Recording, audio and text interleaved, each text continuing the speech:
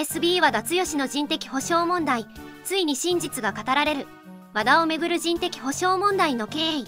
指名1月10日に FA 山川の人的保障として西武側が和田を指名する方針を固めたことが判明。西武側は方針通りに和田を指名した。9点チームの顔の流出に対する反響の大きさなどを鑑みて両球団が話し合って急遽方針を転換。翌11日28年ドラフト1位で最速160キロの剛腕。甲斐野博投手27が人的保障に選ばれる急展開があった。当初は和田の指名を打診されたことについて問われた三笠 GM はコメントはありません。と話した。発言級和田が15日に長崎市で自主トレを公開。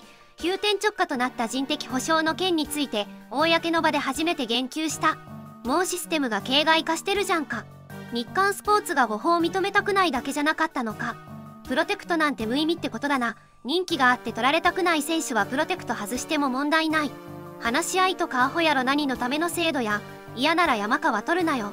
オリックスファンやけどこれが許されるなら慶喜をプロテクトから外して日高をプロテクトしてたわ。真面目が損するのは不愉快。ルールがあるならそれは守ろうよ。最初からプロテクトしとけよ便器誰かがリークしたってことでしょどっちなんだろう触れたくないでなく今後の FA 制度のために意見してくださいよ。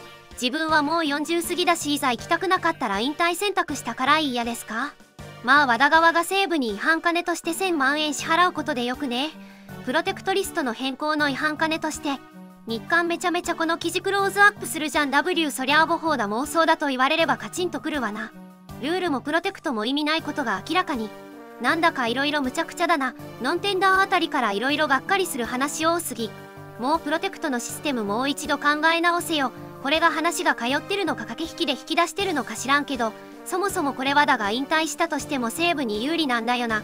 去年発症してる戦力抜けさせられる上にチームのモチベダウンで巨人はよくやってる他のチームに行かせるくらいならベテランが他で活躍しないように買い殺すようなもんでベテランゴミさらいと同じような編成理由みたいだろ。そもそも発表前に西武が和田を指名って情報が漏れたのが原因なんじゃね？今までに話題は正以外で誰かを指名して本人が嫌がったら別の選手に変えたとかのやり取りは絶対になかったとは言い切れないでしょプロテクトを変更しても両チームの同意あったら誰が損するんだ？